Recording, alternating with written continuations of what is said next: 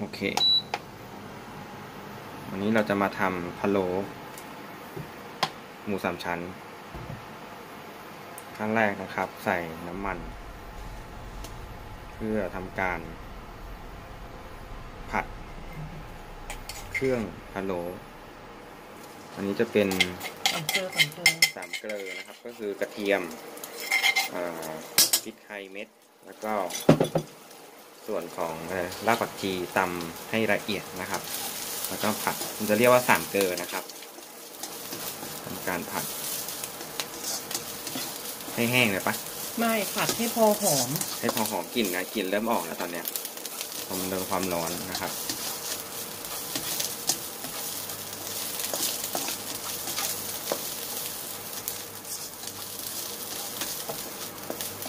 ให้มันกลิ่นแปลกโอเคนะครับก็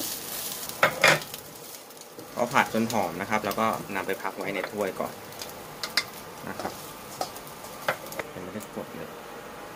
ต่อไปก็ใส่น้ำตาลปี๊บนะครับ เคี่ยวๆแล้วนะก็ครับ น้ำนิดหน่อย เติมน้ำลงไปนิดนึงนะครับ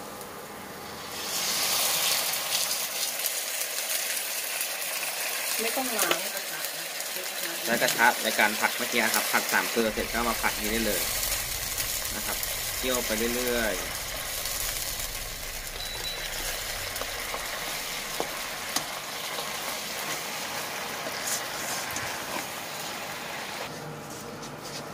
นี่ครับพอเราเคี่ยวไปเรื่อยๆนะครับน้ำตาลจะเริ่มละลายนะครับ เราจะเคี่ยวจนสีมันจะเข้มขึ้นนะครับอ่าการทำพะโล้ครั้งนี้เราจะไม่ใส่สีอิ๊วดำนะครับแล้วก็ไม่ใส่เครื่องเทศพวกพวกกล้วยจั๊บด้วย เราจะไม่ใส่เครื่องเทศพะโล้ด้วย จะใช้สีของน้ำตาลปี๊บเนี่ยครับ เป็นทำให้มันเป็นสีออกน้ำตาลดำๆที่เราเคยเห็นพะโล้ทั่วไปนะครับ แต่เราจะไม่ใส่สีมันดอาจจะไม่ได้ดำมากำอันนี้เป็นพะโล้หมูสามชั้นนะครับ เดี๋ยวเราอีกจนได้ที่แล้วเดี๋ยวจะกลับมาดูอีกครั้งหนึ่งนะครับ อันนี้นะครับ สีน้ำตาลปี๊บเราเริ่มเปลี่ยนเข้มขึ้นแล้วนะครับ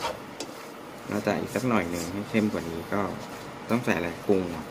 ปรุงน้ำปลาปรุงซอสปรุงรสนะครับพอยังไงน่าจะพอแล้วเสร็จแล้วใส่น้ำปลาใส่น้ำปลาไปหนึ่งร้อยกรัม เมื่อกี้น้ำตาลปี๊บเราร้อยห้าสิบกรัมนะครับ น้ำปลาร้อยกรัมแล้วก็ซอสปรุงรสอีกนะครับห้าสิบกรัม เอาหมูมาใส่เส ร็จแล้วเดี๋ยวจะเอาหมูมาใส่นะครับนี่แล้วก็ใส่หมูลงไปนะครับ แล้วก็เคี่ยว ผัดกับหมู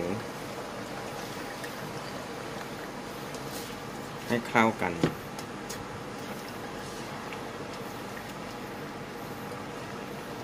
พอผัดให้เรียบร้อยเดี๋ยวมาดูกันอีกทีนะครับ พอเราเคี่ยวกับจนหมูมันตึงหมูเห็นไหมมันจะตึงๆเหมือนเป็นก้อนๆขึ้นมาเห็นไหมแต่ที่แต่มันแบบนิ่มๆเสร็จแล้วเราก็เอาไปใส่หม้อนะครับๆตะกี้ลืมบอกเรื่องเครื่องผัดใส่ ตอนใส่หมูว่าใส่เครื่องผัดลงไปด้วยใส่สามเกลือไปด้วยนะครับสามเกลือแล้วก็มีเกลืออีกนิดนึงประมาณช้อนช้อนชานะแล้วครับก็ต้องเติมน้ำหนึ่งพันห้านั่นแหละน้ำประมาณหนึ่งพันห้าถึงสองพันแหละครับ เดี๋ยวพอต้มไปมันก็จะระเหยออกเอง ตามนี้นะครับเดี๋ยวย้ายลงหม้อเสร็จแล้วเราก็นำเครื่องที่หมูที่เราผัดกับเครื่องเรียบร้อยนะครับ มาใส่ในหม้อต้มนะครับ ตุ๋นจนกว่ามันจะนิ่ม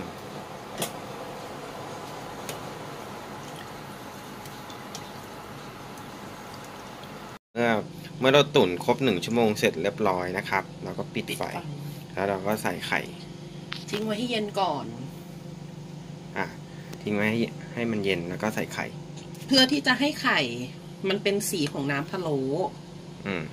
ที่เราไม่เอาไข่ลงไปต้มอะค่ะ เพราะว่าเราอยากได้ไข่แบบเยิ้มๆไม่ได้สุกมาก เป็นไข่เหมือนเป็นไข่ ไข่ยางมะตูม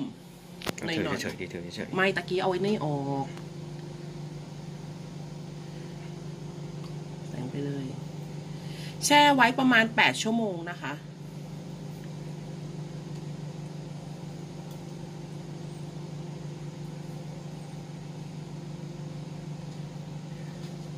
เคเรียบร้อย